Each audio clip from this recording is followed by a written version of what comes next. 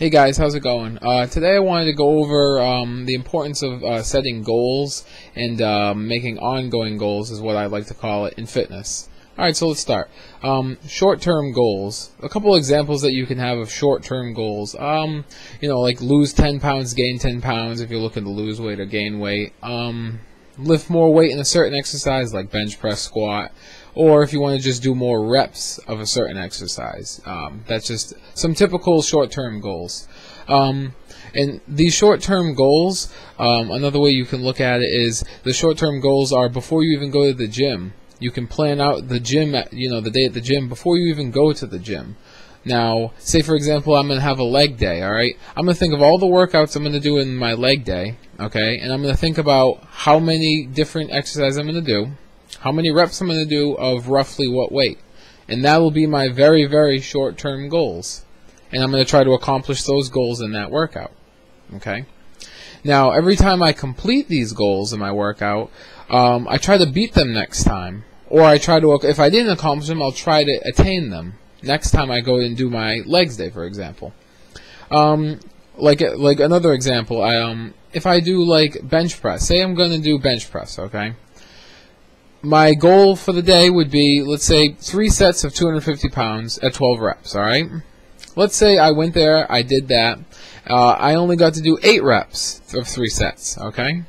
So I didn't get to complete it, so I'll just gonna keep working at it. You know, it might take the next session the next session after that to complete it, but eventually I'll get to that goal. Now let's say for I did three sets of 14 reps, alright?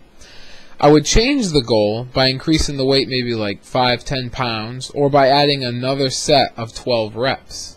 That way, it you know it makes the difficulty much harder. So next time I'll go, I'll have something higher to attain. That's how you get progress. And uh, another way you can do it is um, you can change your rest times.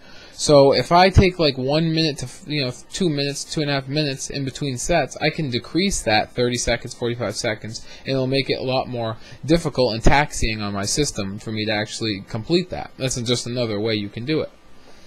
Um, now for beginners in fitness, alright, you need to make your short-term goals reasonably attainable, okay? So what I mean is, is you just started like a weight loss program.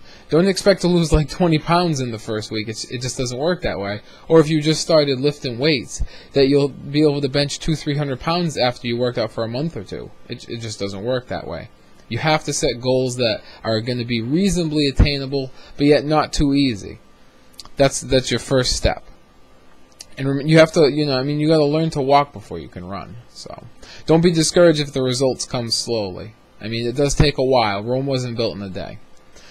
Alright, so that's some of the short-term goals. Uh, long-term goals could be like getting a six-pack. Um, you know, you lose X amount of pounds, gain X amount of pounds, you know, more than 10 or 20, uh, depending on what your goal is.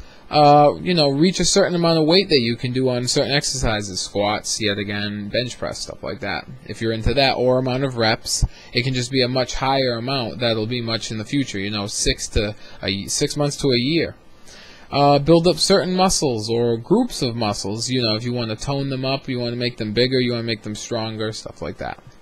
Or just getting in the best shape of your life could be a goal and that can be something that you try to attain, and that'll help you push further and further every day to try to reach that goal.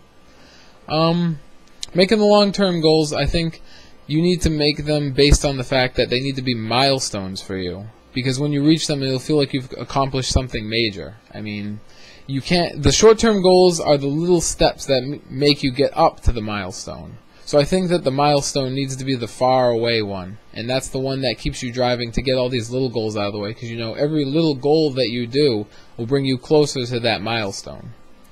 Now, a couple tips I have for you guys when you're making these goals. Um, first of all, I think before you even start, I think you should take some pictures of yourself, okay? Just so you know where you're at later on. When you complete a lot of these goals, you'll be able to look back and see where you were at, to see what your progress you've gotten. Um, another thing, record your weight. You don't need to do this all the time, but I suggest just doing it at the day when you take pictures of yourself, just so you know what you weigh.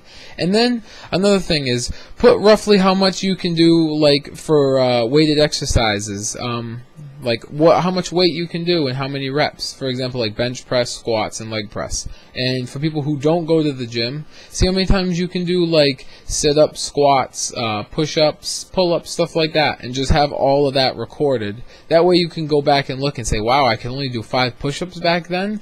You know that type of stuff, and uh, put it all in like a little journal and just keep it all together. And I would say, don't even look at the pictures and stuff like that for at least two to three months just so you can go back and see what you you know what you used to look like and see the the progress that you've gained.